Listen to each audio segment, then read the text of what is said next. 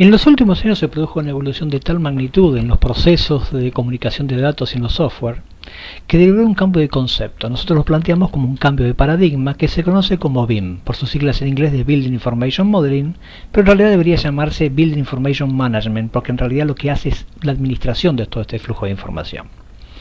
¿Qué es lo que hace este concepto? Digamos, ¿qué es lo que, ¿Cuál es la base de este concepto? Que en el medio del problema, como está en este gráfico, lo que pone es el problema del edificio, el edificio como su conjunto. Que en realidad tiene un ciclo, una cadena que empieza desde la programación hasta el diseño conceptual, el diseño de detalle, el análisis acústico, térmico, de impacto ambiental, toda documentación, los procesos de fabricación, la construcción que implica el 4D y el 5D, que son los costos y el tiempo, la logística, la construcción y por supuesto la etapa más dura, que es la operación y el mantenimiento. Obviamente, esto es que esta cadena se vuelve a disparar porque con el tiempo tiene que haber una adecuación, una renovación que vuelve a disparar esta cadena de valor. Como está claramente acá expresado en el gráfico, la única forma que salga de este circuito es con la demolición del edificio. Mientras esto no ocurra, siempre voy a tener que hacer la operación y el mantenimiento. ¿De qué otra cosa me tengo que asegurar también? Que yo en realidad estoy construyendo lo que se llama un modelo de datos. Y lo que tengo que tener es un modelo de datos actualizado. Ahora, no son solamente los planos. Un modelo de datos implica la visualización y la comprensión del modelo real, toda la documentación asociada, ¿Qué hago con esta documentación? ¿Cómo la comunico? ¿Y cómo me garantizo que vuelva a retroalimentar cualquier cambio toda esta cadena de valor? Vamos a, centrarnos en esta parte de visualización para ir atacando diferentes áreas. Siempre es mejor una imagen que mil palabras. Y esta imagen puede estar expresada por una imagen total del, digamos, del conjunto, una zona parcial, por zonas, por caps. Es decir, ¿cuál es un criterio de visualización para que yo tenga una cabal comprensión de este modelo de datos? Hay muchos procesos y tecnologías, muchas de esas gratuitas, como en este caso, que me permiten ver, por ejemplo, esto. No importa la complejidad del edificio, es más fácil entender esto con una cantidad de planos asociados. No es que acá no haya planos, sino que el plano es una consecuencia de este modelo. Pero a la hora de comunicarlo, de visualizarlo y entenderlo, esto es mucho más fácil. Yo podría definir estrategias de visualización, por ejemplo, una visualización de conjunto, de frente, desde el acceso, y por supuesto tener para definidas la sala de máquinas, la sala de calderas, de ascensores, una parte en particular, etcétera. También podría tener una, visual, una, visión, digamos, sesgada, escindida. Quiero la visión del conjunto, pero desde su punto de vista estructural. Quiero la visión del frente, pero desde su punto de vista estructural. Quiero la visión del acceso, pero desde su punto de vista estructural. Y así como defino el punto de vista estructural, podría estar escindiendo las instalaciones térmicas, sanitarias, de seguridad, etcétera. También podría estar diferente, digamos, definiendo como comprensión y comunicación y visualización diferentes zonas. Toda la parte del entorno, toda una parte particular y que yo pueda caminar y visualizarla y entenderla y meterme adentro. Cada una de las áreas compositivas, porque esto en realidad es una sumatoria de elementos complejos que forman un elemento aún todavía más complejo, ¿no? Esto es una integración de estos datos. Yo podría particionar o escindir una parte, decir, mira, solamente me interesa ver acá y concentrarme en esta parte.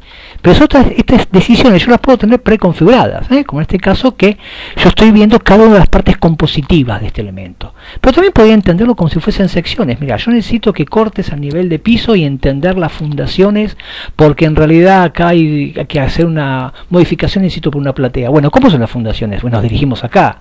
O un poquito más este, arriba para ver el área de estacionamiento, el área de acceso, o alguna parte cada vez más arriba para que yo pueda crecer y pueda empezar a visualizar esto como si yo lo cortara, como si fuese unas fetas de un gran complejo.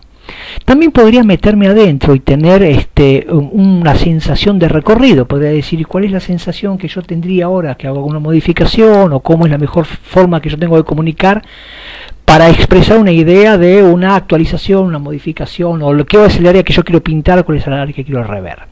Por eso lo que nosotros decimos es que este modelo de datos, al principio es muy importante visualizarlo y este, contarlo y eh, entenderlo como un conjunto. Ahora, en realidad yo tengo asociado a esto toda una cantidad de planos, secciones, perspectivas, planillas que representan la documentación.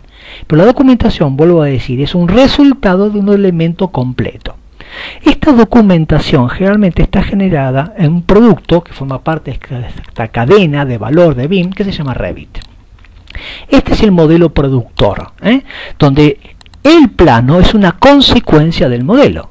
Fíjense que acá yo tengo diferentes visualizaciones, diferentes planos de esta obra. Y tengo diferentes presentaciones de esta misma obra. Cualquier cosa que yo haga acá hay una actualización automática y completa de toda la documentación. Plantas, vistas, secciones, planillas van a ser actualizados en todo el conjunto, en todo el BIM. No es que yo tenga que ir archivo por archivo, levantando la planta baja, la planta de estructuras y cambiando en cada uno de esos en forma independiente el elemento que yo estoy definiendo. No, acá cualquier cambio se representa en todos lados. Por ejemplo, fíjense lo que va a pasar acá. Si yo decidiera crear nuevos muros, por ejemplo acá, vengo acá y digo, che, yo en esta sección en realidad necesito crear un nuevo muro porque acá este, me dijeron que tengo que crear una nueva área. Fíjense lo que va pasando en todos lados. ¿eh? En, no es que yo tenga un plano aislado, es un modelo de datos. Esto es uno de los, digamos, los elementos muy fuertes que tiene el BIM, Building Information Modeling. Pero solamente se está cambiando la representación, digamos, este, geométrica. De ninguna manera, porque si em, analizamos esto de acá, por ejemplo, vamos a ver que esto tiene una cantidad de planillas asociadas. Vamos a, se cambió todo, por supuesto, se cambió todo, es decir, yo no tengo que salir a computar nada, está todo metido acá. Si yo hice una ingeniería de toda esta documentación en forma adecuada, toda la actualización y toda la toma de datos se hizo en forma automatizada. Si yo me concentrara en cada uno de estos planos que están apareciendo por acá, vamos a ver que este mismo BIM, este mismo conjunto edilicio, es susceptible de visualizarse con diferentes lentes. Por ejemplo, este es un periodo actual en donde yo quería que me cuente, por ejemplo, las áreas, pero no de cualquier forma. En esta sección de acá, yo necesitaba que me defina en esta parte las áreas por su nombre. O sea que acá aparecían seguridad con su superficie, los baños, las zonas de estacionamiento, ¿eh? las zonas de pañol, de áreas, de choferes, etcétera. Pero cada una de estas áreas tenía una definición, tenía el nombre y la pertenencia, por ejemplo, a un grupo mayor. ¿eh? Esto era el baño, pero esto correspondía a la parte de sanitarios. Bueno, este mismo plano, ahora yo necesito, porque necesito contar diferente, que me lo muestres en forma diferenciada. Entonces acá va a aparecer agrupado, por ejemplo, los sanitarios. ¿Por qué? Porque me resulta más fácil contar todos los sanitarios, porque tengo que hacer una adecuación del tipo de determinación de todos los sanitarios. Entonces, al mismo plano le estoy pidiendo, no me lo cuentes ahora por baño de hombres y mujeres, ponémelo todo junto en sanitario, pintámelo de un determinado color para que yo rápidamente pueda identificarlo dentro del conjunto. Toda esta área vehicular que yo tengo acá, que es una área de estacionamiento, y acá un área de maniobra, de carga y descarga, ponémela acá toda junto al mismo color y dame toda la cantidad de metros porque yo necesito que la reúnas. Es decir, la misma información puede ser analizada y puede ser comentada y puede ser documentada de una forma diferente. En este plano de acá, para ampliar un poquito el concepto y el marco de referencia, yo me estoy adelantando, estoy haciendo este, una, una visualización de un área que yo tengo que ampliar y quiero que el programa me vaya contando cuál es la previsión que yo tengo que tener. Y si yo analizo un poquito más en detalle, vamos a ver que en esta área de acá no tengo ninguna partición. Bueno, yo me estoy adelantando que en una etapa posterior ¿eh? de ampliación, yo necesito que me armes este, este plano que no afecte al anterior, porque yo quiero tener la idea del plano efectivamente como era el año pasado, y quiero que me dividas el cómputo de lo que es el año pasado y lo que es este año, pero también quiero que empiece a prever desde el punto de vista de documentación, desde el punto de vista de análisis numérico, qué es lo que va a pasar. Entonces, empiezo a tener en este plano, que solamente aparece acá, una partición porque yo necesito crecer, pero necesito crecer el año que viene. Entonces le pido, y ahora haceme un detalle de lo que pase acá, ¿eh? este, este detalle de lo que pasa acá, tiene que ver con esta área de ampliación. Entonces esto me va a estar diciendo que acá, que no tengo nada, ahora en forma futura voy a tener un pañol que tiene esta cantidad de metros cuadrados, una parte de mecánica, otra parte de depósito y otro pañol en un detalle ampliado en una determinada zona que además está vinculado, que no me afecta, digamos, los planos anteriores, pues yo estoy previendo hacia futuro, que además me va a estar diciendo qué cantidad de metros cuadrados yo necesito, por ejemplo, de muros, pero además le estoy pidiendo, metete un poquito más y yo quiero saber la cantidad de ladrillos que tengo que comprar. Y separármelos por diferentes tipologías, ladrillo hueco del 8, decime cuánto revoque fino, cuánto revoque grueso, cuánta pintura, es decir, estoy analizando o estoy previendo futuras acciones de mantenimiento. Y además le estoy pidiendo al sistema que me lo cuente de una forma particular. En este caso, mira, poneme todo en forma transparente y solamente concentrarme para ubicarme cuál es la parte que voy a modificar. Acá lo único que aparece, digamos, en forma llena son los muros que yo voy a construir y todo lo demás está transparente. Pero no me alcanza con esto y la persona que lo va a hacer o como lo quiero comunicar le quiero decir, no, mira, yo en realidad quiero que veas exactamente es esto lo que tengo que hacer. Y estos son los cómputos asociados. Volvemos a esta área inicial. Ahora me quedo solamente acá con toda esta documentación. Vuelvo a decir, acá el impacto que yo tengo en la actualización es tremenda. No tengo que andar recolectando plano por plano y haciendo la modificación, sino que toda la data que estoy metiendo se va autodocumentando y autocomputando. Pero esta documentación que yo genero acá es críptica, queda solamente relegada a un área de especialistas con software muy sofisticados, de ninguna forma. Yo tengo que garantizar la comunicación de todos estos datos a actores técnicos y no técnicos. Tengo que poder gestionar estos datos y hacer consultas. ¿Cómo lo puedo hacer esto en forma segura? Al software que permite meterse, que yo pueda comunicar estos planos, estos mismos planos que estaban en ese sistema, ahora están acá como planchados, están inmodificables. Esto es como un PDF pero vectorial. Entonces yo no tengo que involucrar ni mucha tecnología, ni mucho software, ni mucha capacitación. Esto es un software elemental que permite tomar esos datos y comunicarlos a todas las personas que necesiten ver áreas de intendencias, áreas no técnicas, a abogados, a contadores y toda la cadena de valor que van a tomar una decisión con respecto a cuál va a ser, por ejemplo, la ampliación que va a sufrir esto.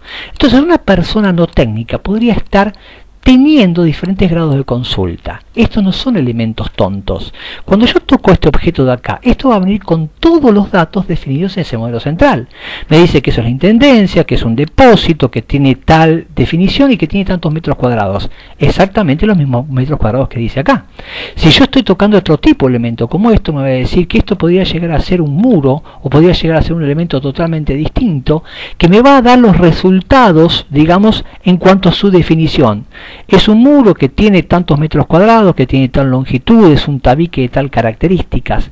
Es decir, que no solamente estoy dando un plano, sino todos los datos asociados de cada uno de estos elementos.